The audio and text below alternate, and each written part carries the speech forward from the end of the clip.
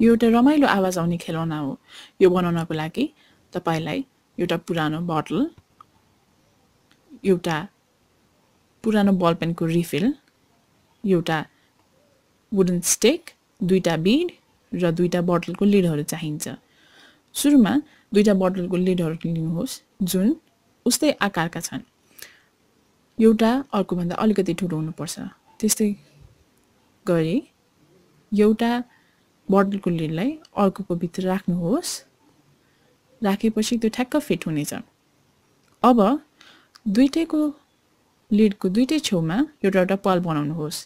पाल बनाएर त्यो दुइटै बोतलको लिडहरू फिट भएपछि त्यसको पालको एउटा छेउदेखि अर्को छेउसम्म एउटा वुडन स्टिकलाई त्यसभित्र छिराउनुहोस्। वुडन स्टिक बलियो हुनुपर्नेछ। अब पुरानो प्लास्टिक बोतललाई त्यसको बेसबाट दुई तिहाई बिच भागमा काट्नुहोस्। काटेपछि करिब दुई सेन्टिमिटर तल दुईवटा पल बनाउनुहोस् जुन एक अर्काको ठ्याक्क अपोजिट एन्डमा हुनुपर्नेछ। त्यसै गरी थर्ड पाल भने त्यसको अलिक तलतिर र बिचपट्टि बनाउनुहोस्। अब दुईवटा अपोजिट साइडको पालको बिचबाट अघि फिट गरिएको दुईवटा बोटलको लेयरलाई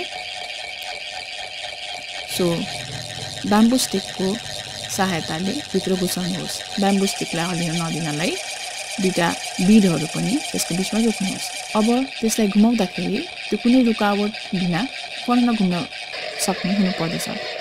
रमाइलो आवाज आउने खेलौना तयार गर्नु।